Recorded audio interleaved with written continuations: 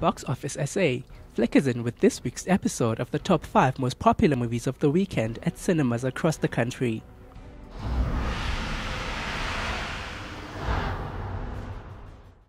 Counselor? Eddie, we had a deal. Either pay me or go with a public defender. We open this week's countdown with the newly released legal courtroom drama Lincoln Lawyer, which sees heartthrob Matthew McConaughey conspiring his way into fifth place. You didn't strike Miss Campo with your left fist. No. Threatened to kill no, her. No, I am not that guy. I don't know, Mick. This kid feels wrong to me.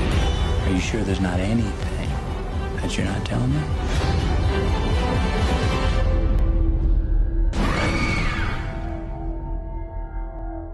Nothing.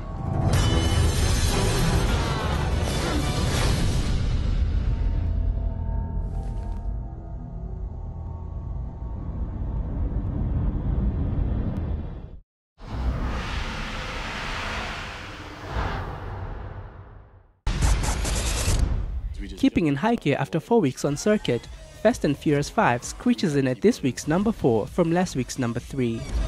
Running ain't freedom. You're going down, Toretto. Big mistake.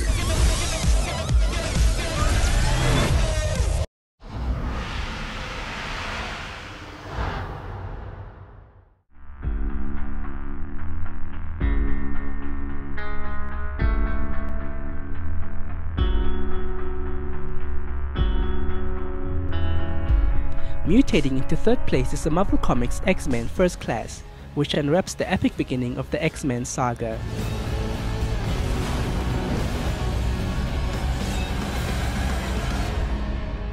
Listen to me very carefully, my friend. Killing will not bring you peace.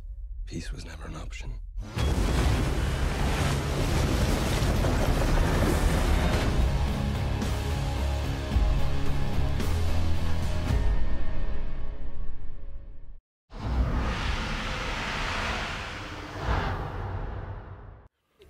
The farcical foursome fumble their way into this week's second place in their Bangkok escapades in The Hangover Part 2. I can't believe this is happening again. It's Lauren's little brother. He's lost. We're not going back without Teddy.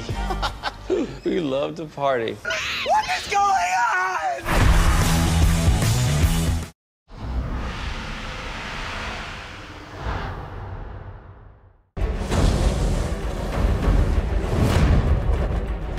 Jack, have you ever seen with your own eyes the fountain of youth?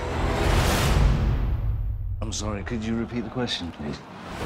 Anchoring in at number 1 is a swashbuckling adventure flick Pirates of the Caribbean on Stranger Tides. The Fountain of Youth.